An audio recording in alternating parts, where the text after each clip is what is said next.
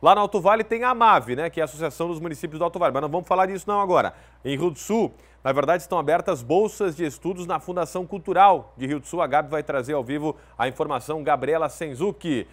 Deu uma esquentadinha por aí também em Rio do Sul, Gabi. E aí, boa tarde. Boa tarde, Rodrigo, para você e para todos que nos acompanham aqui ao vivo no Balanço Geral. Uma sexta-feira geladinha, mas ensolarada por aqui para começar o fim de semana, sim.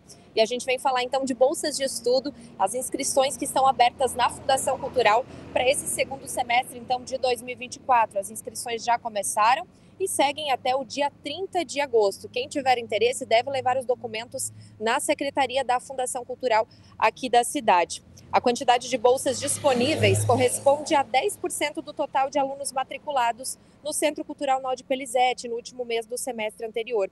Podem participar alunos já regularmente matriculados, alunos novos, os interessados em ingressar nos cursos que ainda não efetuaram a matrícula e pessoas também indicadas por entidades que caracterizam transversalidade de ações ou trabalhem com a vulnerabilidade socioeconômica.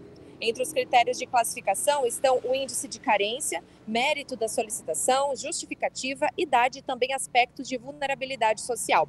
O edital completo está disponível no site da Fundação Cultural, www.fundaçãocultural.arte.br e o resultado vai ser divulgado no dia 6 de setembro, sendo que o candidato contemplado tem, tem até o dia 20 de setembro para validar ou efetuar a matrícula então.